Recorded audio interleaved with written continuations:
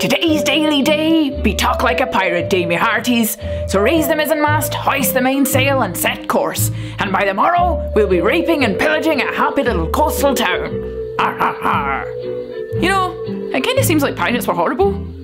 I don't know why we're okay with sending kids to fancy dress parties dressed like these parrot holding, gun toting, murdering, stealing, raping, amputee sons of bitches. I mean, you wouldn't dress a kid like Kim Jong il, or a Nazi, or Jimmy Savile, would you? Why would you not follow me? Oh yeah, because you're obviously a loser. HairyHaggis.co.uk, proud new sponsors of the Daily Day Show.